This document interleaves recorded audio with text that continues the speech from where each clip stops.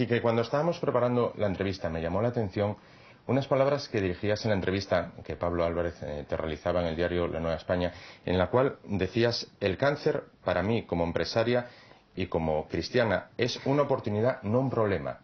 ¿Cómo puede explicar esto? Bueno, porque yo creo que en la vida todas las dificultades son oportunidades.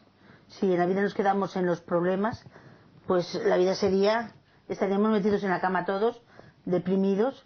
Yo creo que la, la enfermedad, una enfermedad como un cáncer, que es una enfermedad, bueno, pues que está investigada, que hay mucha experiencia, que hay ya muchos protocolos, pues es una oportunidad de lucha y de, bueno, y de, y, de intentar pues salir adelante con él.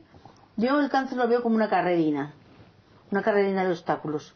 Entonces, bueno, pues hoy te lo diagnostican, te operan y gracias a, Dios sales bien de la operación. Y luego te da, eh, empiezas unos tratamientos en el tratamiento te van diciendo que va bien todo. Ay, qué bien, gracias, mm. Dios mío.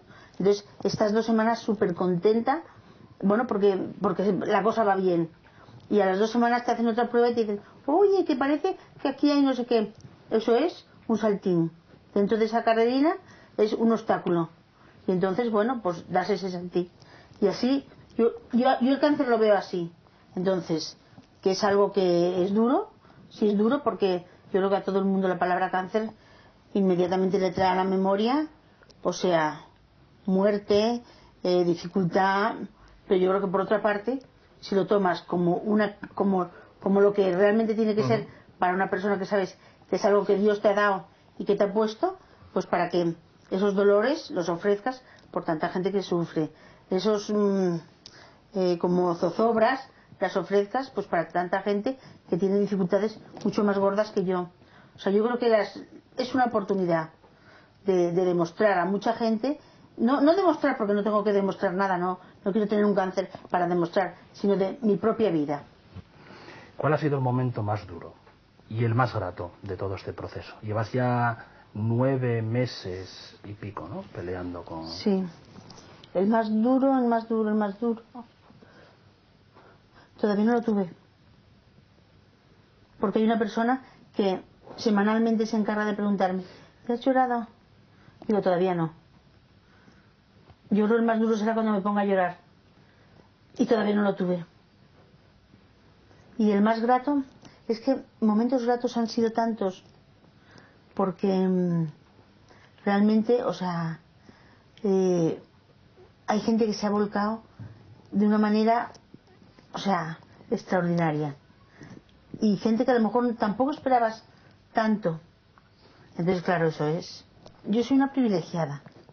Yo no he tenido ni un momento de soledad. Ni un momento. Yo soy del Opus Dei. Entonces, mm, el Opus Dei es una familia. Y entonces se puede decir, yo ahora lo puedo decir, o sea, por experiencia propia. La gente del Opus Dei está al lado mío en todos los momentos de la enfermedad. O sea, yo me despertaba de la UBI hecha una loca, con el ojo ahí como un pájaro todo ennegrecido, y había una persona de Opus Dei, ¿qué quieres, qué necesitas, qué no sé qué? Yo voy a Madrid al tratamiento y tal, me acompañan, me llevan, me suben, me bajan, me... O sea, todo, todo. Ha sido así permanentemente. Yo le he pedido a Dios que me deje darme y darme a los demás hasta que esté ya ahí ya en mi último momento porque yo creo que es la vida es para eso, para exprimirla, coger y exprimir hasta la última gota. Queda media gota, venga, a por ella. En, el tema, por ejemplo, de la mujer, hay muchísimo que hacer, sin tópicos, ¿eh? Sin topicazos de, no, no, no, no. Pero el tema de la verdadera igualdad, pero la verdadera igualdad para conseguir un mundo más justo, para conseguir una familia más justa, para conseguir que realmente, o sea, que el mundo vaya mejor. Pues hay muchísimo, muchísimo que hacer. Aunque parece que hay mucho hecho, hay mucho que hacer.